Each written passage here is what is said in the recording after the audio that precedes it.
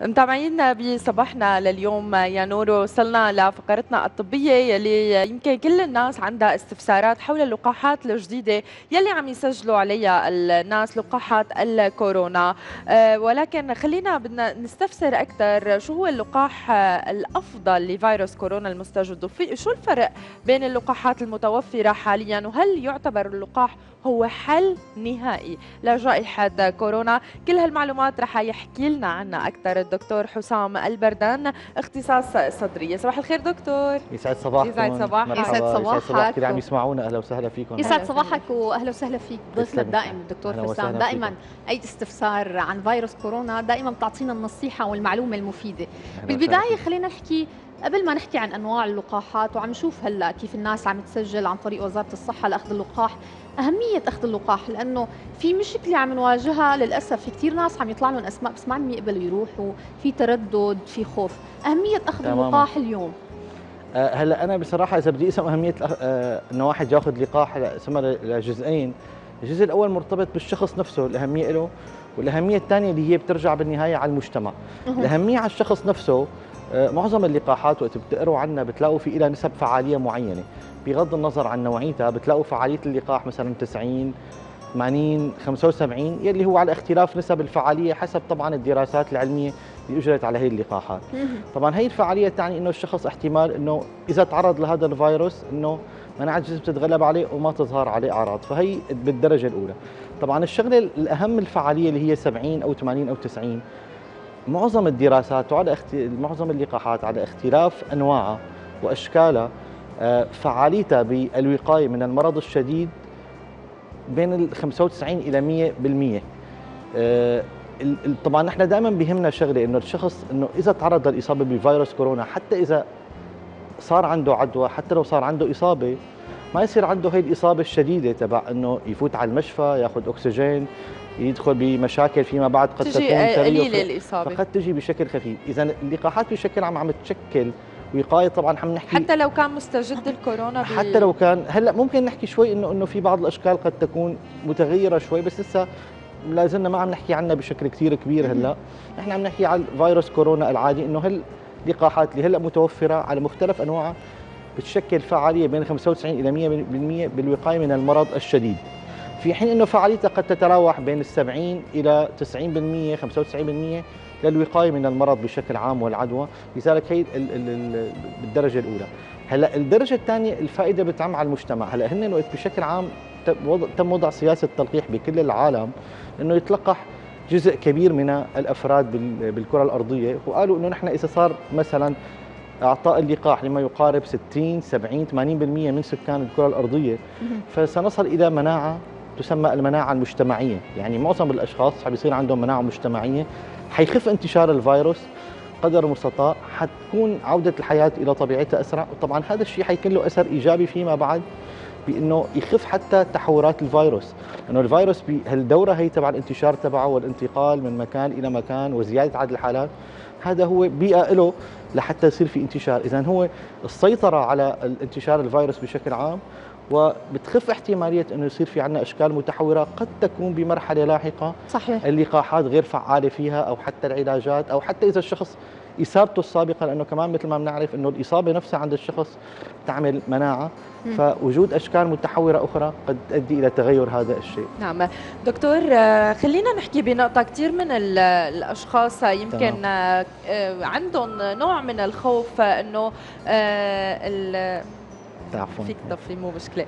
إنه عندهم نوع من الخوف إنه آه، سمعنا آه، على اللقاح صار حالات من الوفاة سمعنا حول العالم صار حالات من الوفاة. خلينا نحكي عن هي الحالات وشو هي الحالات اللي بتؤدي للوفاة وليش صار وفاة تمام. آه، باللقاح بأنواعه يعني. هلا إذا بدنا نحكي بشكل عام على التأثيرات الجانبية للقاح.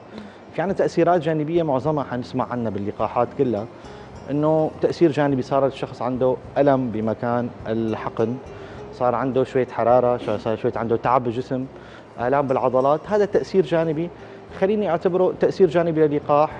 قد يكون متفقين كلنا إنه هي تأثيرات جانبية مقدور عليها إذا صح التعبير. في عندنا بعض التأثيرات الجانبية قد تصل إلى مرحلة الصدمة التأقية أو الصدمة التحسسية. يعني أشخاص قد يصابوا ب آه، عندهم استعداد للتحسس وارتكسوا لهي المادة من اللقاح إلا إنه حسب الدراسات المنشورة بالمجلات لحد الآن هي الحالات بالعالم ما كانت بتشكل أعداد كثير كبيرة يعني إنه يصير الشخص عنده ارتكاز طاقي أو ارتكاز تحسسي أو ما يسمى الصدمة التحسسية.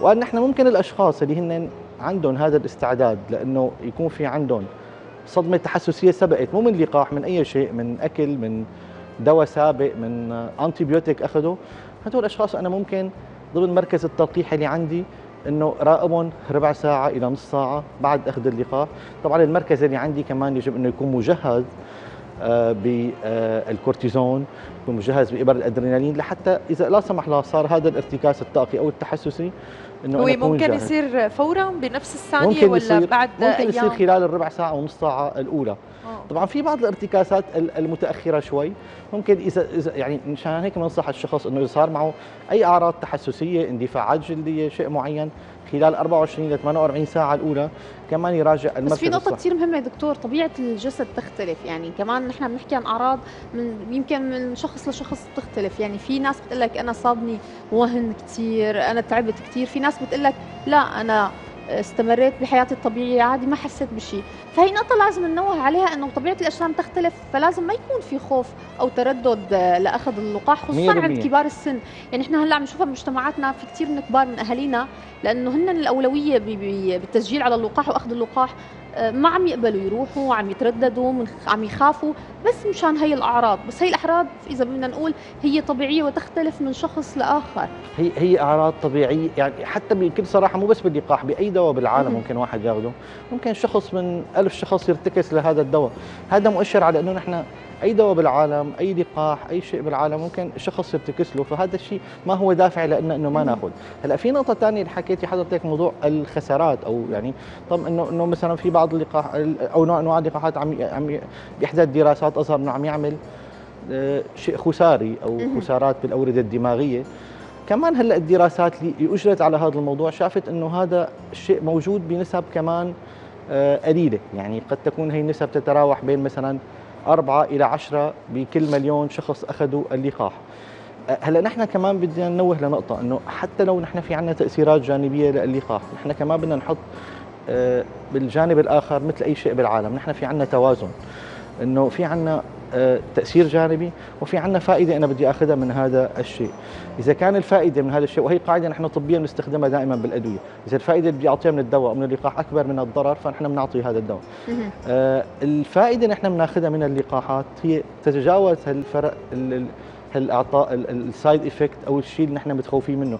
إنه الشخص إذا إذا لا سمح الله أصيب بكوفيد آه ودخل إلى مشفى وقعد على جهاز تنفس اصطناعي رح ترتفع نسب الخطورة كلها ما فيها حتى نسب الخسارات. يعني إحنا كمان الشغلة اللي كثير انحكى عنها إذا بتذكروا إنه موضوع الخسارات اللي بمرض الكورونا. يعني نحن الأشخاص المصابين بكورونا اللي يدخلوا على المستشفى جزء كبير منهم بيرتفع عندهم تحليل الدي دايمر اللي هو تحليل بيشير لارتفاع النسب الخسارية.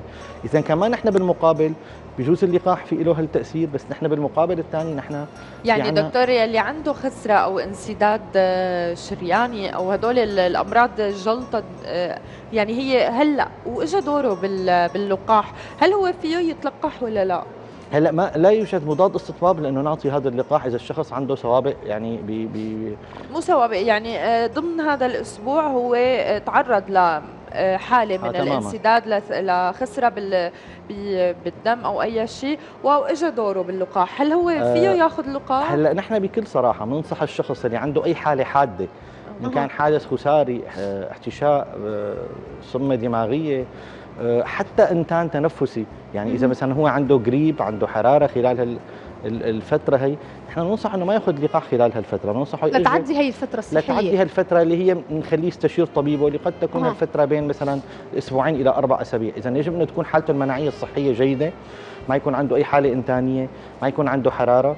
ما في أي شيء يعني بدها تكون مناعته جيدة فنحن بننصحه بنقول حالته المناعية بحالته الطبيعية يعني مش معرض لاي صدمه صحيه هو تمام. قادر إنه يعني يرجع لوضعه الخليه الطبيعي المستوي إنه بهالمرحلة هي بننصحه إنه بهالمرحلة ياخذ اللقاح طيب دكتور اللي عنده أمراض كبار السن مثلا القلب يعني آه، أنا مثلا بعرف حدا تردد ليروح ياخذ اللقاح لأنه هو مريض قلب. في ناس عندها السكري الضغط. هي الأمراض لكبار السن اللي هي أساسا بعد سن الستين في كثير من الأشخاص مصابين فيها. تماما. اللقاح صرنا هلا بعد 30 كلنا. على الضغوطات النفسية. هلا النصائح الطبية إذا بدنا نقول بشكل عام حول أخذ اللقاح لهدول الأشخاص شو هي؟ هلا نحن ضمن أولويات اللقاح بشكل عام وإذا انحطت أولويات اللقاح ضمن سوريا وضمن العالم كله. الأولويات اللقاحيه أول شيء وضعت الاستطبابات للأعمار الكبيرة. صحيح. يعني هن الأعمار اللي فوق ال 60 اللي بيسميهم ال high risk group يعني هن المجموعة عالية الخطورة إذا انصابت بالكورونا. آه الأشخاص الكبار يعني عندهم أمراض قلبية وأمراض كلوية وأمراض تنفسية مزمنة مثل الربو أو مثل السي أو بي دي التهاب القصبات المزمن. هن مرضى على ذوي خطورة أعلى من الإصابة بالكورونا. يعني إذا إجت إنصابوا بالكورونا احتمال الإصابة الرئوية يكون عندهم أعلى. احتمال يحتاجوا لمشفى أو لعناية مشددة أو لا سمراء لجهاز تنفس اصطناعي أعلى من غيرهم. واحتمال حتى متلازمة ما بعد الكورونا اللي هي احتمال التليف الرئة أو أو إنه كمان يكون عندهم أعلى. فهن عمليا من الفئات اللي يجب تلقيحهم بالدرجة الأولى. فهدول نحطوا ضمن الأولويات حتى يعني مو إنهم يجب إنه هي الأولويات للقاح، المرحلة الثانية طبعا طبعا إحنا عم نحكي كمان في أولوية أخرى اللي هي الكوادر الطبية. يعني كمان هدول الكوادر الطبية نحطوا لسه حتى بالستاندرد الأول إنه هن هدول لأنه الأشخاص عم يتعرضوا بشكل يومي كمان عم يتعرضوا لكل ال ال ال الأمراض ضمن أقسام العزل ضمن أقسام العنايه المشدده بس الأشخاص المصابين بأمراض آه، الكبار بالسن من الفئة المرشحة انها تأخذ لقاح بالدرجة الأولى وهذا وهذا البروتوكول اللي عم يتم تطبيقه بجميع الدول بالعالم. حتى نحن إذا بنشوف هلا ضمن آه، منصة مشكورين وزارة الصحة السورية على يعني العمل المنظم اللي عم يصير. فعلا عمل عمل منظم وحضاري بشكل صراحة إنه نحن عم نشوف شخص عم يسجل وعم يروح يأخذ لقاح ضمن ظروف كثير مرتبة. فهذا هذا الشيء كمان الأولويات اللي وضعت فيه هي للأشخاص الكبار يعني. بيتم التسجيل على المنصة بينحط العمر بينحط الأولويات الأمراض المزمنة. فهدول بيكلهم كمان كانت الأولوية لكبار السن وعم نشوف في سرعة بالاستجابة يعني. التسجيل بعد أيام عم يبعثوا رسالة بالزبط. عم يتوجهوا للمراكز لأخذ هذا مؤشر على إنه فعلا هن الكبار هن الفئة اللي يجب إنه نحن نحط اهتمامنا فيهم نركز عليهم بالمرحلة الأولى. نعم. دكتور آه، قبل ما نختم مع حضرتك يعني في كم تساؤل. اولا آه، آه، يعني من بعد أخذ اللقاح رح تصير في أعراض. بعض الناس عم تطلع عندها أعراض وبعض العالم ما عم تطلع عندها أعراض.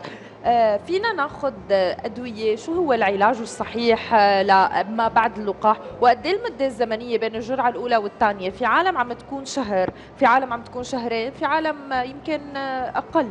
من يمكن أسبوع أو أسبوعين عم يكون بين الجرعة والثانية. تماما. هلأ اللقاحات اللي هي متوفرة عنا يعني خلينا نحكي مثلا اللقاحات معظم اللقاحات اللي إحنا متوفرة لدينا الفرق بين الجرعة الأولى والجرعة الثانية هي ثلاث أسابيع. نعم.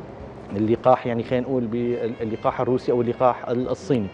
آه، في فيما يخص اللقاح الاوكسفورد المدة المدة بين الجرعتين بتكون طب حوالي عفوا دكتور لو قاطعتك يعني إذا حدا يعني بيتساءلوا الناس أي أحسن هاد ولا هاد؟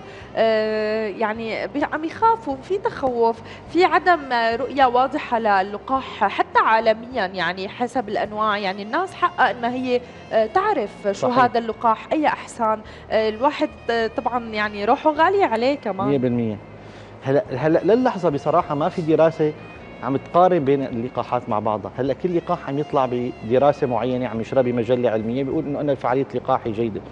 أه حأحكي بشكل مختصر عن أنواع اللقاحات. يا ريت. يعني أه في عندنا لقاحين أه أمريكيات أول شيء سمعنا عنهم. هدول بيعتمدوا على تقنية اسمها تقنية الحمض النووي المرسال الام آر إن اللي هي نحن الفيروس كورونا.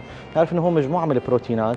في عندنا أحد البروتينات تبعه الكبيرة والأساسية بسموه بروتين الشوكة. آه هذا بروتين الشوكة البروتين الأساسي هن اللي في له مثل كود تسلسل من البروتينات أو شفرة. أخذوا هي الشفرة وصار تم تصنيعها وإعطائها للجسم فبيصير الجسم بشكل أجسام ضدية. نعم. هلأ فيما يتعلق باللقاح الأوكسفورد البريطاني واللقاح الروسي فهدول اعتمدوا تقنية كمان آه، تعتمد على إنه ناخذ نحن فيروس هو اسمه الادينو فيروس هو نمط من الفيروسات يعني الغير ممرضة بشكل عام أو بتعمل أمراضية كثير آه، خفيفة. ومنركب على هذا الفيروس بنركب شوكة الفيروس تبع الكورونا. وتصير وقت بنعطيه نحقن الجسم. الجسم ما بينصاب بكورونا بس بشكل أضداد لهي البروتين الشوكي وفي عندنا نوع ثالث اللي هو النوع. الصيني اللي اخذوا الفيروسات المقتولة. يعني صاروا فيروس غير فعال بيقتلوا الفيروس بفوت على الجسم بشكل مناعة وإجسام ضدية. صحيح. آه، وفيما بعد لا يصاب الجسم بالفيروس. هلأ أي أحسن؟ يعني بكل صراحة لحد اليوم ما في دراسة عم تقارن بين بيناتهم. بس إذا بدنا نحكي مثلا الفعالية بيقولوا باللقاحات الأمريكية واحد منهم 95% الثاني 94.5% اللقاح الروسي ما في نسبة قليلة. بيناتهم نسبة قليلة، اللقاح الروسي فعاليته عم تقارب 91 92%، اللقاح البريطاني حوالي 76%، الصيني تقريبا ضمن هذا الشيء، إذا هي الفرق بالفعالية مثل ما حكينا عنها، بس إنه أي لقاح نحن ناخذه هو اللقاح بكل صراحة المتوفر. لأنه مثل ما حكينا بالبداية إنه هن كلياتهم عم يشكلوا آه، وقاية من المرض الشديد. وبالمحصله إذا أنا بدي أحكي نقطة مهمة. يعني نحن بنسمع مثلا أحيانا عن antibiotic آه، نحن شخص بصير عنده حالة التهابية بيأخذ antibiotic أنا في عندي كذا antibiotic بيشتغل صحيح. بكذا طريقة بالجسم. مو دائما أنا بعرف شو الطريقة اللي بيشتغل فيها ال antibiotic بس أنا بيهمني النتيجة. النتيجة إنه هي اللقاحات معظمها عم تشكل الأجسام الضدية. يعني عم يتشكل عند الشخص آه، الأجسام الضدية اللي هي الاي جي جي بعد أعطاء اللقاح إذا مشان نكون كمان واضحين مو فورا الشخص بياخذ اللقاح بقى ثاني يوم يجيب لنا إيميل كمان يقول أنا تلقحت. لا أنا في عندي فترة الجسم بده الجهاز المناعي يشتغل. فوسطيا يقال إنه أنا الجهاز المناعي تبعي بتصير مناعتي جيدة بعد أخذ اللقاء الجرعة الثانية بحوالي أسبوع إلى 10 أيام. يعني عمليا الشخص بعد ما ياخذ أول جرعة يعتبر عنده حوالي الشهر لحتى تتشكل عنده الإجسام الضديه اذا كل اللقاحات بشكل عام عم تشكل أجسام ضدية بنسب متفاوتة. معظم هلا الشيء اللي حيميز نسب الفعالية طبعا ممكن تتميز عن بعضها. ورقم اثنين فيما بعد الآثار الجانبية تبع وتختلف مثل ما قلنا بداية حديثنا من شخص لآخر. أهمية أخذ اللقاح اليوم هي حماية نفسك وعيلتك والمجتمع والمحيط. يمكن الناس تتخوف لأنه شيء جديد بس هو شيء بيضبط انتشار هيدا الفيروس وبيحمي مجتمعنا صحيح. صحيا. بالختام بدي أتشكرك دكتور حسام بردان دائما على وجودك معنا ومع المعلومات المفيده دائما اللي بتكون معك بحلقتنا. شكرا كثير لك. شكرا لكم. يعطيكم الف عافية.